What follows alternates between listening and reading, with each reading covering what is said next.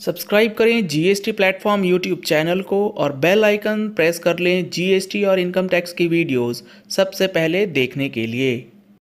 Good morning friends GST platform के YouTube channel में आप सभी का स्वागत है।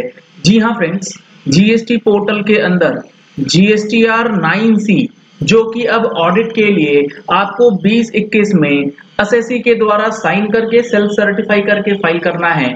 उसकी नई यूटिलिटी जो है, वो प्रोवाइड कर दी गई है। आप देख पा रहे हैं स्क्रीन पे GSTR 9C offline utility version 2.0 जो है, वो अवेलेबल करवाया गया है, जिसके अंदर financial year 2021 tax payer can use this tool to prepare the self certified GSTR 9C reconciliation statement GST audit जो है, अब टैक्स पेयर इस यूटिलिटी को यूज़ करते हुए खुद से प्रिपेयर कर सकता है। आपको सबसे पहले इसे डाउनलोड कर लेना है और डाउनलोड करने के बाद इसका जो एक्सेल फ़ाइल है वो आप ओपन करेंगे। तो कुछ इस प्रकार से वर्जन 2.0 जो है यूटिलिटी आपके सामने ओपन हो जाएगी। इस यूटिलिटी को समझने से पहले आपको ये समझना ज़रूरी है कि जीएसटीआर 9 और 9C 2021 में भरना किसे किसे है। अगर आप देख पाएँगे यहाँ पे तो हमने अपनी जून महीने की टैक्स मैगजीन में टेबुलर फॉर्म में ये बता रखा है आप लोगों को। कि जीएसटीआर 9 और नाइन सी जो है, किस तरीके से भरी जाएगी? अगर आपने अभी तक टैक्स मैगजीन का सब्सक्रिप्शन नहीं लिया है तो आप टैक्स मैगजीन का सब्सक्रिप्शन ले सकते हैं। डिस्काउंटेड प्राइस पे अभी आपको टैक्स मैगजीन का सब्सक्रिप्शन जो है, वो अवेलेबल करवाया जा रहा है। अगर आप चाहते हैं सब्सक्रिप्शन लेना तो दिए गए नंबर्स पे कॉल करके व्हाट्सएप करके आप डिटेल्स ले सकते हैं। अब अगर आप देखेंगे तो दो करोड़ तक अगर आपका टर्नओवर है जीएसटीआर नाइन जो है, भरने की ज़रूरत आपको नहीं पड़ेगी और जीएसटीआर 9C भी आपको नहीं भरना है। अगर दो करोड़ से पाँच करोड़ के बीच में आपका टर्नओवर है तो जीएसटीआर नाइन तो मैंडेटरी है, लेकिन नाइन सी भरने की ज़रूरत नहीं है।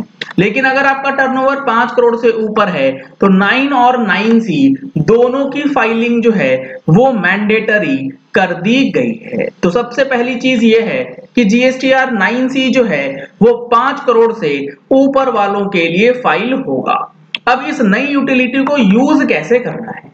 सबसे पहले आपको ये चेक करना होगा कि यहाँ पर जो फाइनेंशियल ईयर दिया गया है, इस फाइनेंशियल ईयर के सिलेक्शन के बेसिस पे जीएसटीआर 9C की यूटिलिटी की फीचर्स जो है ना, वो चेंज हो जाएँगी। अगर आप फाइनेंशियल ईयर 17 18 18 19 और 19 20 सिलेक्ट करेंगे। तो इस तीन साल के लिए जीएसटीआर 9C का जो सर्टिफिकेशन है, वो चार्टर्ड अकाउंटेंट या कॉस्ट अकाउंटेंट को करना था।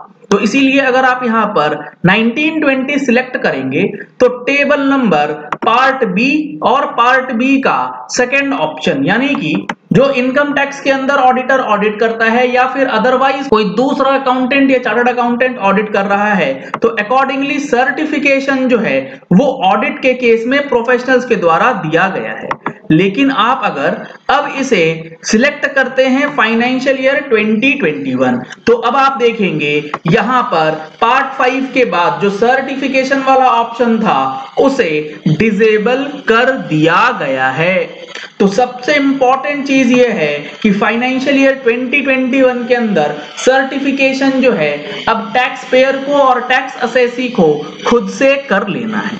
अगर आपको मैं दिखाऊँ तो फाइनेंशियल ईयर 1920 सिलेक्ट करेंगे तो यहाँ पर आपको एक ऑप्शन मिलता है is the person making reconciliation statement in 9C is the same person who has conducted the audit यानी कि इनकम टैक्स ऑडिट जिसने करा है, वही सीए जीएसटीआर 9C भी भरता है। तो आपको यहाँ पर यस या नो करना होता था।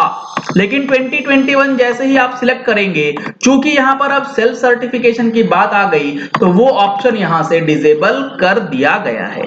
इसी के साथ साथ जो पार्ट फाइव है, इसके अंदर additional liability due to non reconciliation जो है, उसका ऑप्शन दिया गया है।